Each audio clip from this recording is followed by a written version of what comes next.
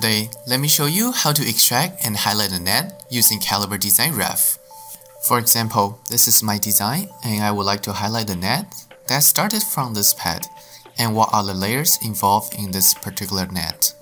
If you have finished set up your layer connection previously, you can just select any of the polygon in this net and use right mouse click and then select extract net.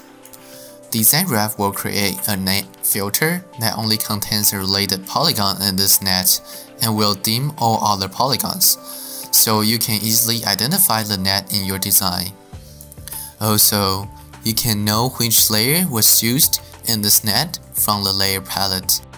You can even find out how many polygon segments in this particular net from your terminal window. Now, let me show you how to set up your layer connections. First, Click Edit on top of the layer palettes, then go to Connections. Here it will show you which layers are considered as connected. In this example, I want to define Metal 6 and Metal 7 are connected through VIA.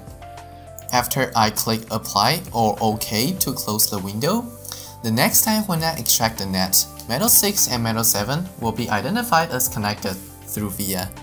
Remember to save it before you exit the section so you can reuse this connection settings. Now, if we extract the same net again, you'll see Metal 7 and VIA 6 are now shown as part of the net, which didn't exist before. If you want to extract a net that across different level of hierarchy, remember to go to Option, Net, and select Search Depth to be all levels. Today I've shown you how to use DESIGNrev to extract a net in your design. My name is Sander Peng. Thanks for watching.